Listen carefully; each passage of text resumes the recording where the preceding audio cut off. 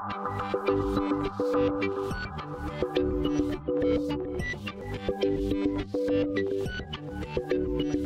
everyone, I'm Abby. Um, I have never talked before in front of people, so please forgive me if this is really bad. Okay, so I work at DeNA. It's a Japanese company, but we're going, growing our global presence in gaming. We had about $2 billion worth of virtual currency spent in our titles in Japan last year, and around 270 million spent around the rest of the world. So internally, we've released a lot of titles. We just launched Blood Brothers 2 in San, from our San Francisco office. We work with licensed IPs like Transformers, Star Wars, Marvel, I'm really excited to mention we're bringing over a huge hit in Japan, Final Fantasy Record Keeper. It's made us around $10 million a month there, so we're really excited about it. Um, we track a lot of different data in our games. Of course, the standard KPIs, so we can compare our titles. Uh, we get ad vendor data and do marketing analysis. We also look at custom game logs to, to tune our games, improve our design. So that leads to kind of a lot of data. Um, on busy days, we get up to 60 megs of raw logs a minute and around 50 gigs of raw logs per day. That's kind of given us some headaches in the past that I'll get into.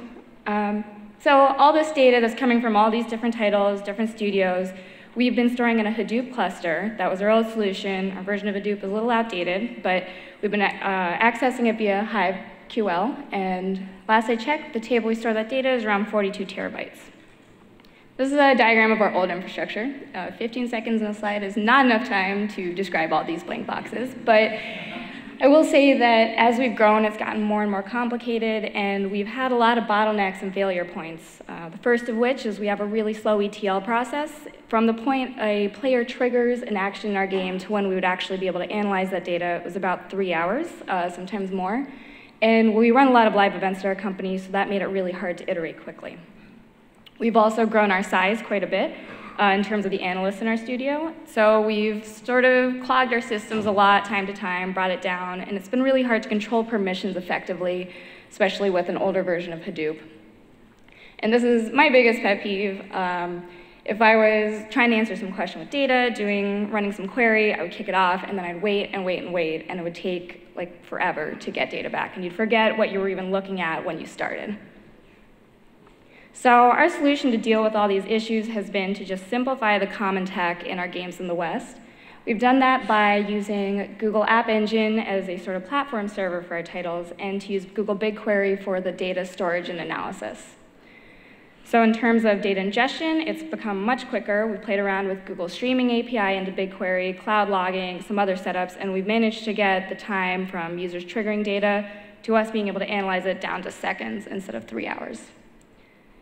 Uh, we also have been able to scale without any worries. If we launch 10 more titles or hire 10 more analysts, we don't need to worry about us bringing our systems down. Something bad happens, we just blame Google and call them up and sort it out. And it's been really easy to control permissions. This was a huge headache before. We work with a lot of external developers, and we couldn't effectively share their own data back to them. And so now, with just a couple clicks, we can share you know, their, their projects, their data sets with people outside and within our own studio. And here I am running a query. Uh, it's processing about 170 gigs of data, grouping by a couple things, coming up with tutorial completion rate. Took about eight seconds in BigQuery. The same query over less data in Hadoop took about two minutes. So lessons learned, it hasn't been totally smooth sailing, mostly because we've had to look at some things differently. We've hit some quotas. We have to work around a different cost structure. And it's a little bit of a newer product, so some features haven't always worked as expected, but Google's been great with helping us with that. So for us, it's really been a good solution. We want to be able to have the control of our own data in-house, to do our own analysis, and we don't want to have to worry about maintaining the actual infrastructure to make that happen, because we're a games company after all. So I wanted to show you playing around with some data. Uh, this is connected with Tableau. And I'm diving into an example of when players were losing missions early on in our game Blood Brothers 2. Um, we made a change, and I wanted to drill in by day to see if it worked, and I can see here it did. Here's another example. Uh, we reduced the entry price for a live event gacha that had unlocking steps.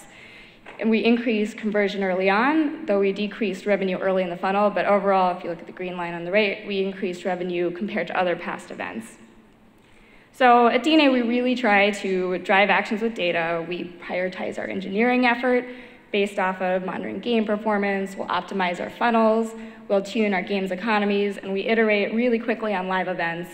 So in sum, BigQuery has really helped us actually focus on using this data instead of just exhausting ourselves trying to get to the data itself.